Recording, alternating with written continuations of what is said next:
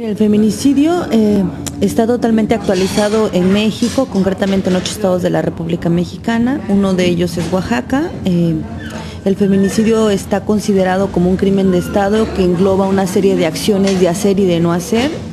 Es decir, que tendrían que implementar programas, tenían que eh, aprobar leyes, presupuestos y de no hacer, es decir, dejar que las mujeres eh, sean víctimas de violencia intrafamiliar, sexual, familiar, este, o víctima incluso de asesinatos, ¿no? sin que el Estado castigue y sancione a los responsables, generando con esto todo un proceso de impunidad. Y entonces está la permisibilidad por parte del Estado de que se pueda generar todo un tipo de violencia hacia las mujeres sin que se sancione y entonces los agresores que infringen violencia, si decimos menor,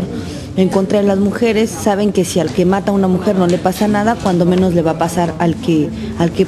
tiene un tipo de violencia menor al asesinato. ¿no? Entonces hay todo un proceso. Eh,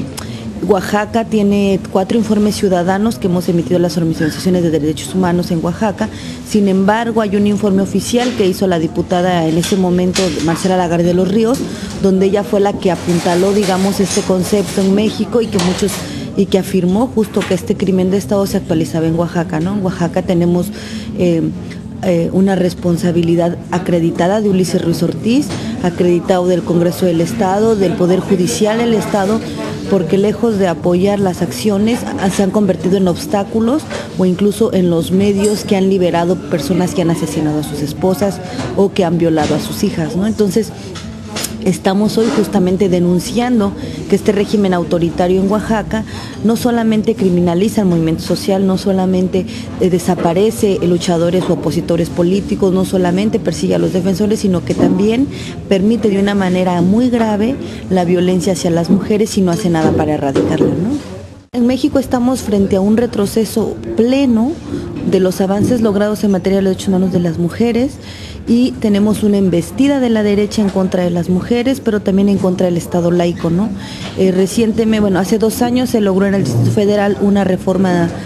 que ya no criminalizaba el aborto, sino que despenalizó el aborto y, eh, y esto fue un golpe, digamos, para la, para, la, para la derecha y nunca lo vieron como un logro importante para las mujeres. Y entonces esto generó que se iniciara una estrategia de presentar iniciativas en diversos estados de la República Mexicana y a la fecha llevamos 19 estados que han aprobado una reforma que penaliza el aborto, incluso en casos de violación se han registrado ya casos de mujeres en la cárcel que han abortado a veces por accidente o que son eh, eh, abortos espontáneos, pero se les está acusando de asesinato, ¿no? Y, eh, y se ha canalizado como una campaña de criminalización a las mujeres. Oaxaca fue el estado número 16 en el que se aprobó la reforma antiaborto. Un grupo de mujeres y de feministas estuvimos en el Congreso, fuimos golpeadas por guaruras de los de los diputados porque pedíamos un debate público, no, no nos los quisieron dar y entonces lo que hicieron fue agarrarnos a golpes. ¿no? por otro lado, Oaxaca, al ser el estado 16, se coloca como, una, como un ente importante de la estrategia de derecha porque con él se sumaba la mayoría, de, digamos la mitad de los 32 estados que componen la República Mexicana y eso permitió que el estado número 17, que fue Veracruz, presentara justo la iniciativa que reforma la ley, la Constitución Federal. ¿Esto para qué es? O sea, evidentemente lo que busca la derecha en, México es que el logro ha ganado en el Distrito Federal se eche para atrás y entonces sea eh, ya un delito otra vez el que las mujeres aborten, ¿no? incluso en caso de violación.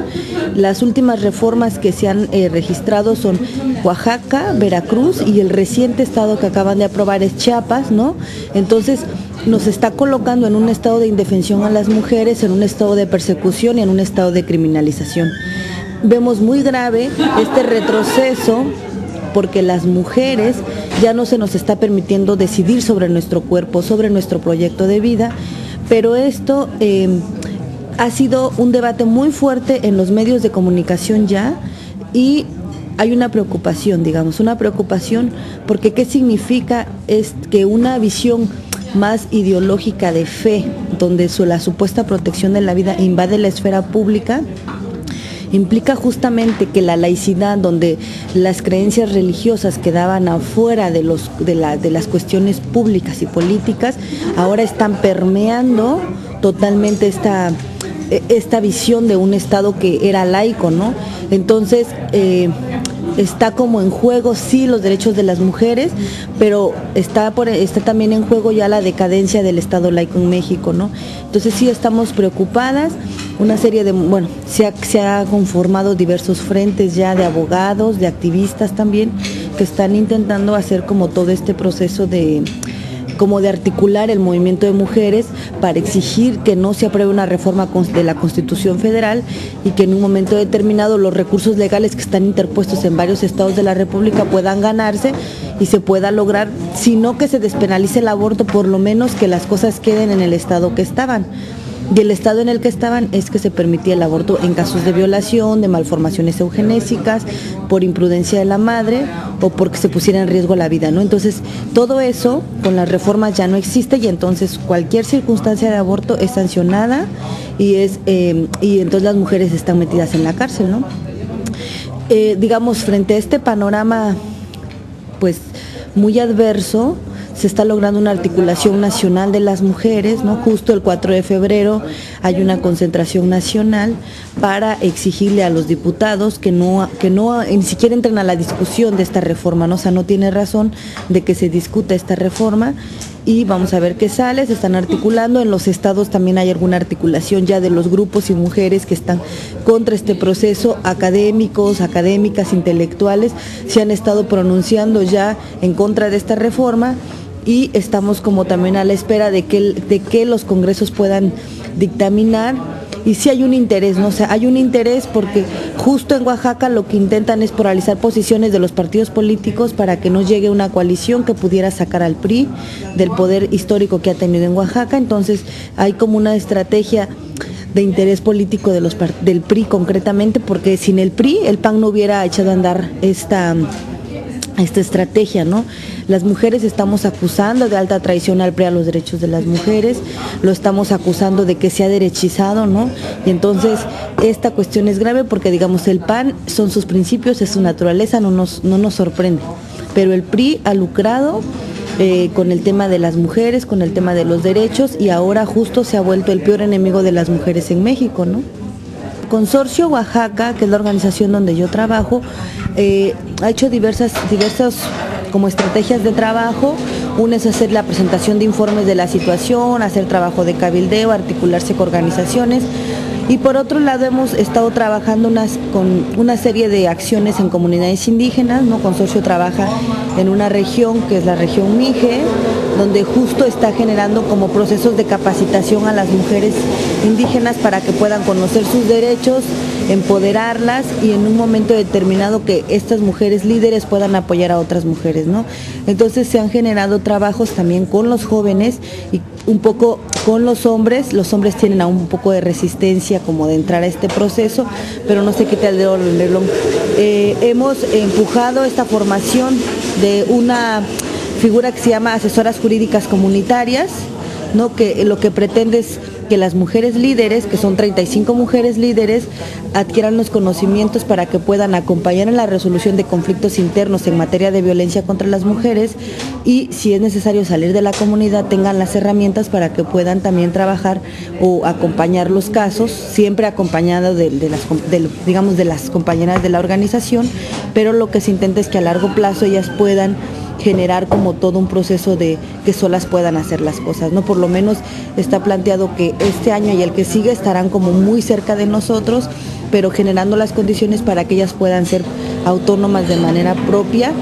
y por otro lado, bueno, Consorcio está trabajando esta capacitación, esta formación de líderes, pero también todo un proceso en las comunidades donde se empiece a tener una visión de género, una visión hacia el respeto de los derechos humanos, a las relaciones igualitarias, que sabemos que no es fácil, estamos intentando involucrar a las autoridades eh, y digamos son como pasos muy concretos que por un lado tratan como también de sopesar la grave crisis política que vive Oaxaca,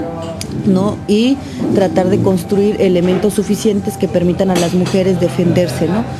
Y justo frente a este hacer, eh, estamos, bueno, vamos a iniciar una campaña de recolección de fondos justo para, para, para seguir trabajando este proceso de empoderamiento de mujeres líderes y generando las condiciones físicas mínimas para que ellas puedan atender a mujeres, ¿no? Entonces en poco tiempo estaremos sí lanzando esta campaña que lo que pretende es fortalecer estas acciones eh, que permitan como seguir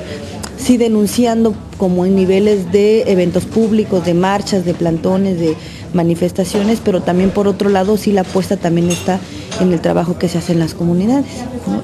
Y pues también estamos como eh, tratando de generar discusiones y debates al interior de los movimientos sociales sobre lo que es